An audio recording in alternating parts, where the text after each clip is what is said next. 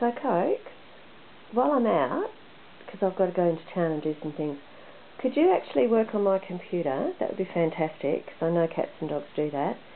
If you could update my social media, so that's Facebook, Twitter, maybe put up a picture on Pinterest, and my LinkedIn profile's pretty good at the moment.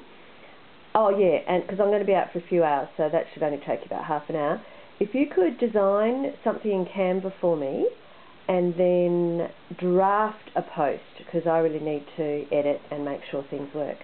So don't put too much energy into it, don't work too hard, but you are my virtual assistant. Well, you're my real assistant. So looking forward to see what you're writing and the updates and see you when I get back, darling. Bye-bye, Coco. She's really pissed off at me because I'm going out. She won't even look at me. Ah, well, enjoy your work. Have a good day.